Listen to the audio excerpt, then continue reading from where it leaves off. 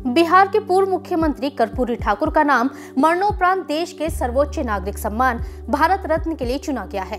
पिछले काफ़ी वक्त से बिहार के मुख्यमंत्री नीतीश कुमार, डिप्टी सीएम तेजस्वी यादव और कई नेताओं को भारत रत्न देने की मांग कर रहे थे। जेडीयू नेता केसी त्यागी ने तो उनके नाम पर एक विश्वविद्यालय खोलने की भी मांग की थी। कर्पूरी ठाकुर अपने आप में एक अलग शख्सियत थे। उनकी सादगी के कई किस्से आज भी मशहूर हैं। क्या है वो किससे हम आपको बताएँगे। नमस्ते, मैं हूँ सुनैना सिंह और आप देख रहे हैं news nation digital.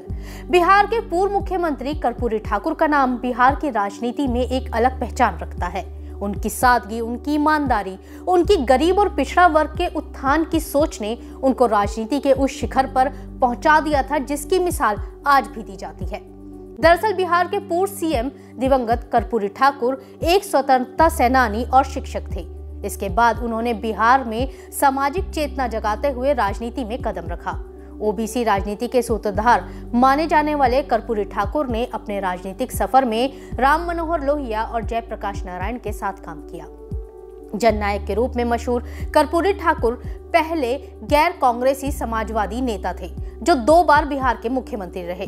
Karpoori Thakur पहली बार दिसंबर 1970 से जून 1971 तक और फिर दिसंबर 1977 से अप्रैल उन्नीस तक बिहार के सीएम रहे। सीएम बनने के बाद भी उनका जीवन काफ़ी सादा और ईमानदारी से भरपूर था। जैन जिज्ञासु की किताब The King Maker Lalu Prasad की अनकही दास्ता के मुताबिक उनकी शख्सियत के कई किस्से हैं। एक किस्सा पूर्व पीएम चंद्रशेखर से जुड़ा हुआ है। बात 1977 की है, जब पटना के कदम कुआँ के चरखा समिति भवन में जयप्रकाश नारायण का जन्मदिन बनाया जा रहा था। इसमें कई दिग्गज नेता जुड़े थे। पूर्व पीएम चंद्रशेखर और नानाजी देशमुख भी उसमें शामिल थे। तब बिहार के सीएम कर्पूरी ठाकुर इस कार्यक्रम में टूटी चप्पल और फटा कुर्ता पहनकर पहुँच गए। इस पर किसी नेता ने कहा कि सीएम को ठीक तरह से गुजारे के लिए कितना वेतन मिलना चाहिए। तब चंद्रशेखर कुर्सी से उठे और अपना कुर्ता मेज पर फैलाकर कहा कि कर्पूरी जी के कुर्ते के लिए दान दीजिए। इस दौरान सैकड़ों रुपए आ गए। इन पैसों को जब कर्पूरी ठाकुर को दिया गया तो उन्होंने कहा, वो इन पैसों को मुख्यमंत्री राहत कोष में जमा करा देंगे। ये कर्पूरी ठाकुर की ईमानदारी का किस्सा है। लेकिन आप ये जानकर हैरान हो जाएँगे कि बेशक कर्पूरी ठाकुर दो दो बार बिहार के सीएम रहे, लेकिन वो कभी अपने लिए एक अच्छा घर तक नहीं बनवा पाए। एक बार की बात है, जब देश के प्रधानमंत्री चौधरी चरण सिंह उनके घर पर उनसे मिलने पहुँचे तो दरवाजे से निकलते वक्त उनके सिर पर चोट लग गई। तब पीएम ने कहा कि आप इस छोटे दरवाजे को ऊँचा क्यों नहीं करवाते? इस पर कर्पूरी ठाकुर बोले कि जब तक बिहार के गरीबों का घर नहीं बन जाता, तब तक उनका घर बन जाने से क्या होगा? अब बात करते हैं साल उन्नीस सौ बावन की, जब कर्पूरी ठाकुर पहली बार विधायक बने थे। उस दौरान ऑस्ट्रिया जाने वाले एक प्रतिनिधि मंडल में उनका चयन हो गया।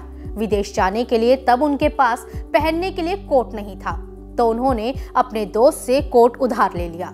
उनके दोस्त ने उनको कोट तो दे दिया, लेकिन वो भी फटा हुआ निकला।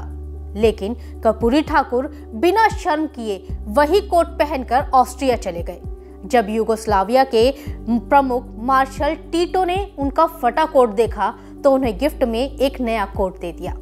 राजनीति में समाज और ओबीसी वर्ग का उत्थान करने के लिए उतरे कर्पूरी ठाकुर ने कभी अपनी गरीबी से शर्मिंदगी महसूस नहीं की।